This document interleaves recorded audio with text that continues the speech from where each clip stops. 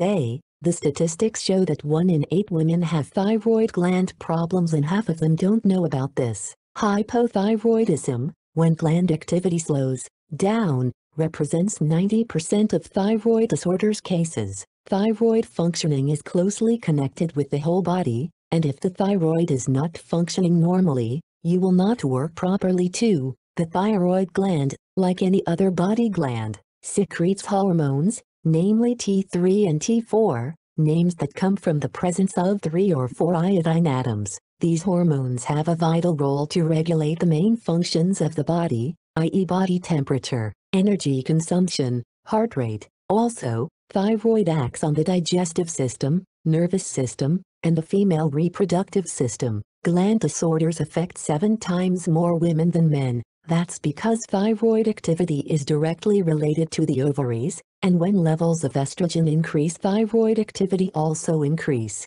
Hypothyroidism symptoms 1. Tiredness even after 8-10 hours of sleep per night or the need to sleep every afternoon. 2. Weight gain, failing in weight loss attempt or fluid retention. 3. Problems with the mental state, egg, emotional episodes, anxiety or depression. 4. Hormonal imbalances, pronounced premenstrual states, irregular menstruation and or sporadic and low libido. 5. Muscle weakness, joint pain, muscle cramps, carpal tunnel syndrome. 6. Intolerance to cold, cold hands and feet even when others don't feel cold. 7. Dry skin thickened skin and chapped, unusual patterns of hair loss in men, brittle nails. 8. Constipation. 9. Impaired memory, foggy, low concentration. 10. Throat swelling, snoring or unusual voice. Hyperthyroidism. Symptoms, when the thyroid produces too much hormone,